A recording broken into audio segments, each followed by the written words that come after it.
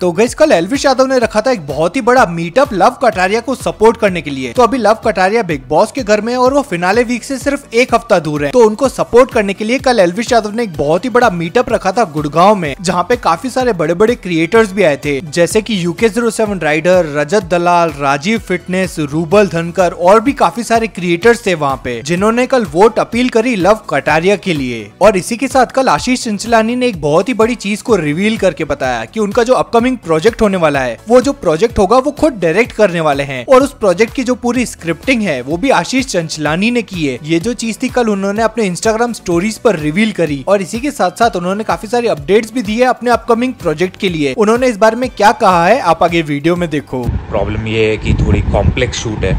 काफ़ी चीज़ें है, काफ़ी कुछ कवर अप करना है। एंड क्या है, क्यों है, आप लोग देखोगे, तभी समझेगा।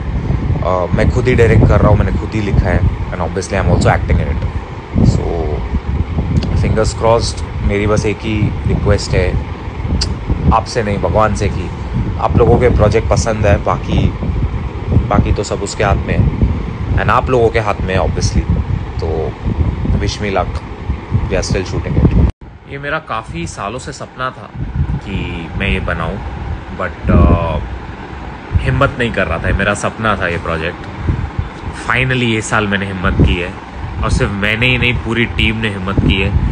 इस वक्त हमारा पूरा फोकस उस पर है। इंतज़ार कर लो आप लोग थोड़ा, आएँगे हम लोग। आप देखना।